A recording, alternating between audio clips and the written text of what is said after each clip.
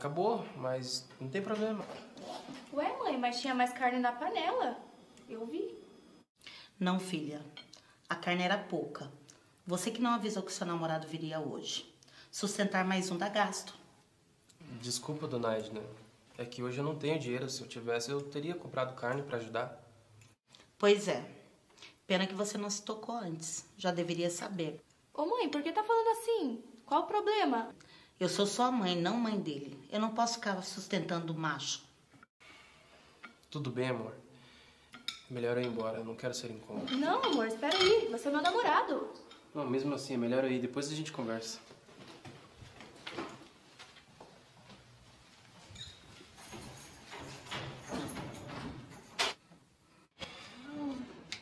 Ai, amor, desculpa. Por essa eu não esperava. Minha mãe tá louca.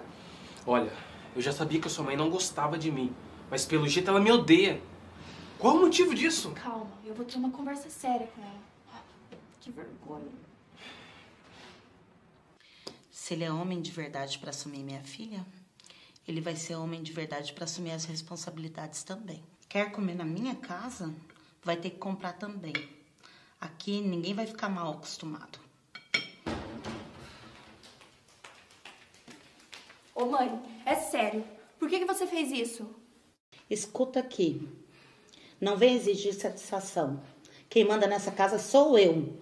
Você não tá trazendo só seu namorado. Você tá trazendo uma boca. E para encher mais uma barriga, tem que ter mais dinheiro também. Mãe, isso não faz sentido. Agora pro meu namorado vir comer na minha casa, ele tem que pagar. Eu não posso oferecer nada pra ele então? Se fosse assim, eu teria que pagar pra comer na casa dele também. Mas pelo contrário, os pais dele não me cobram nada. Ele é homem, minha filha. Tem que aprender que desde cedo nada é de graça e que nós mulheres não somos escrava deles. Não estamos aqui para ficar cozinhando a toda hora. Nossa, mãe, está misturando as coisas. Você fala como se tivesse alguma mágoa escondida no coração. Eu só falo a realidade, você sabe disso. Isso é ridículo. Tá se doendo aí, é? Quando estiver sofrendo lá no futuro, você vai se lembrar da sua mãe. O que, que custa trazer um quilo de carne para ajudar? Mãe, ele já disse que não tinha hoje. E nem sempre ele vem aqui. Que exagero! Ai, quer saber? Deixa pra lá. Desse jeito eu não vou mais trazer ele aqui. Se é isso que você quer. Se for para trazer mais despesa, melhor que você não traga ele mesmo.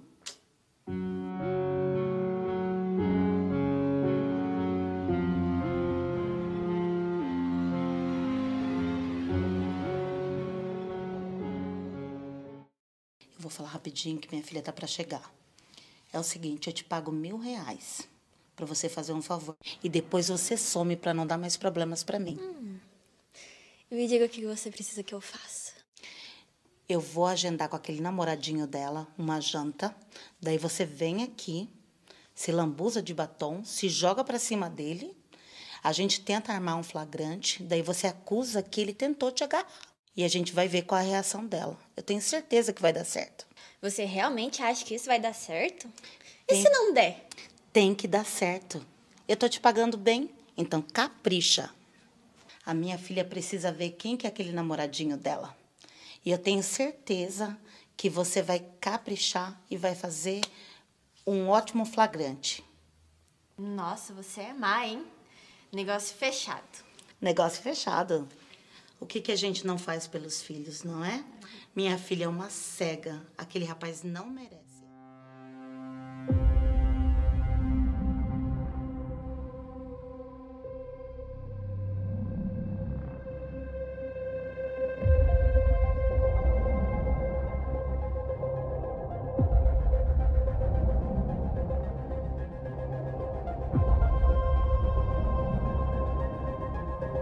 Não, não. Eu não vou baixar a bola. Eu vou lá falar com a minha sogra e falar umas verdades para ela. Quem ela pensa que é para ficar me humilhando? Se eu deixar, ela sempre vai ficar pisando em cima de mim. Isso não vai ficar assim. Eu vou lá agora. E ela vai me ouvir. Moço, Deus mandou lhe dizer que por esses dias alguém te humilhou. E você está pensando em pagar com a mesma moeda. Mas não faça isso, porque Deus vai te exaltar. Estão tentando manchar a sua imagem e acabar com a sua honestidade. Mas eu te conheço e te digo: acalma o seu coração. Não vale a pena dar o troco de ódio, mais ódio ainda. Fique em paz, porque sou eu que te justifico. Você não precisa dar satisfação a ninguém. Jesus te ama, guerreiro.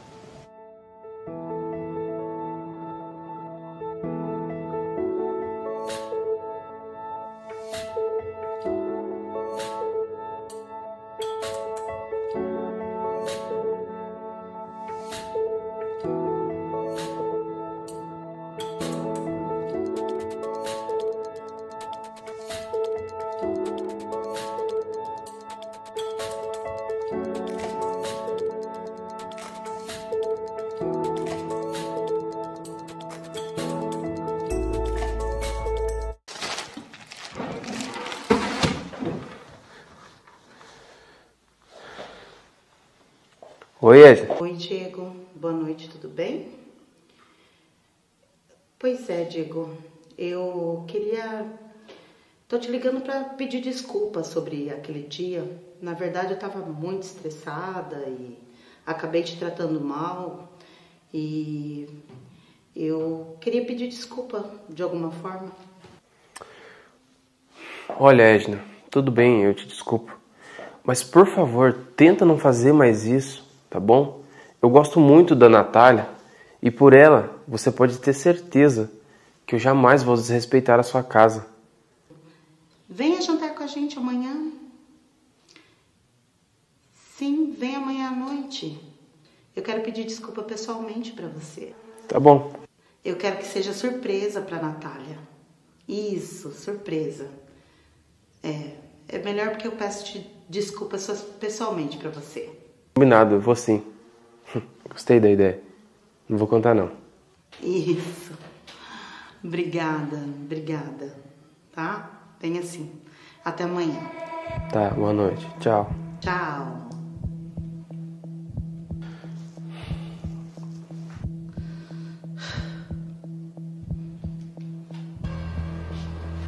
Minha sogra me pedindo desculpa. Dá até medo.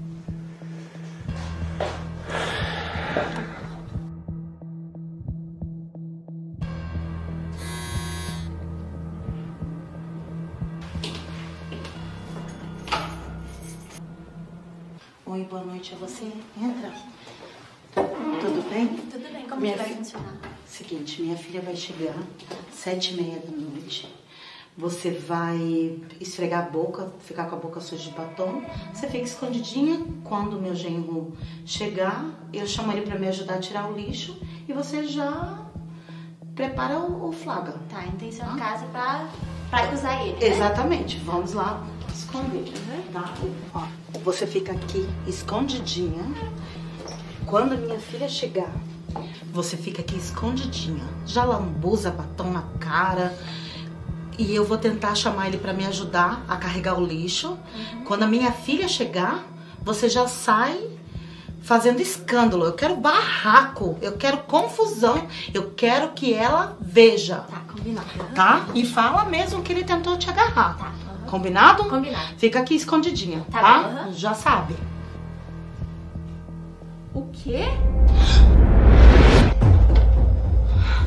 Nath, como você entrou e eu não vi. Pela porta que tava aberta. O que você tava falando? Eu não acredito que você ia fazer isso com o Diego. Ou melhor, comigo. Não, filha. Eu contratei uma faxineira pra me ajudar. Quê? Que faxineiro o quê, tia? Não fui contratada pra isso, não. Já fiz minha parte, tá? Eu tô me Calma aí. mandando. O plano não deu certo. Não tem devolução, tá? Já sabe, tempo e dinheiro. Vocês que se entendam.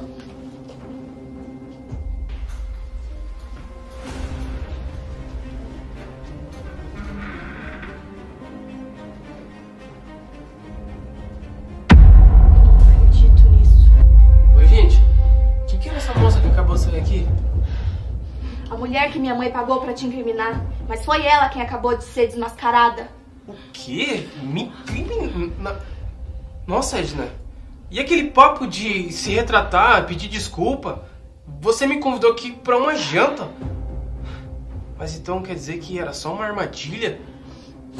Deus do céu, até que ponto você é capaz de chegar? Pra que isso? O que, que eu te fiz? Desculpa, meu filho, mas eu já me decepcionei muito. E depois, Natália, que seu pai me largou, me traiu, eu tomei muita raiva de homem. Eu sabia, mãe, que você tinha uma mágoa escondida no seu coração.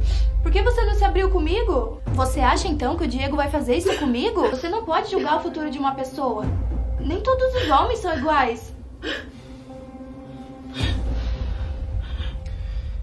Olha, dona Edna, se a senhora não gosta que eu frequente a sua casa, era só ter me falado. Não precisa me incriminar desse jeito. Eu aceitaria suas regras numa boa. Não tem necessidade de ir tão longe assim. Me perdoe, tem coisas que é difícil superar. Mas eu vou tentar mudar, tentar deixar vocês mais à vontade. Filha, eu não sei se vocês querem ir embora. Se você quer ir embora com ele ou se você quer ficar. Eu só sei que eu vou estragar a vida de vocês. Eu nem sei se o Diego vai me perdoar. Sim, dona Edna, eu, eu te perdoo sim. Esquece isso, deixa pra lá. Eu não tenho condições de assumir um casamento agora com a sua filha. Então eu acho melhor ela continuar aqui sobre o seu teto para não haver nenhuma precipitação de ambas as partes. Até mesmo porque nós não podemos fazer nada de cabeça quente. E por ela, eu faço tudo. Eu não quero ser um peso para sua vida, não. Obrigada, amor.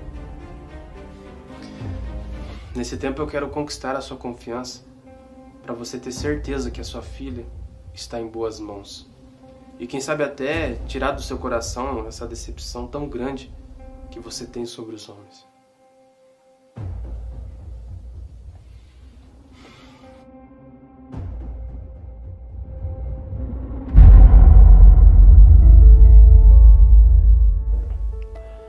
Nesse mundo, sabemos que as pessoas que mais são capazes de nos machucar são as de dentro e não as de fora. Infelizmente, a maioria das famílias, se não todas, sofre algum tipo de conflito. Alguém que não vai com a cara de alguém, que carrega lembranças no coração, ódio, mágoa, desejo de vingança ou inveja. Mas deixa eu te dizer uma coisa séria. Se isso acontecer, não adianta falar nada.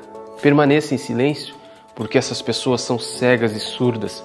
Nada abre os seus olhos senão somente a colheita de seus próprios frutos.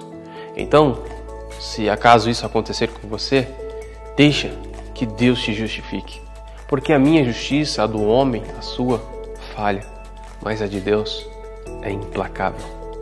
Nunca seja instrumento do inimigo ou divisor da comunhão familiar Dobre os seus joelhos e coloque tudo nas mãos de Deus, sua casa, sua família. Porque a melhor coisa é você poder seguir o seu caminho em paz e dormir toda noite com a consciência limpa.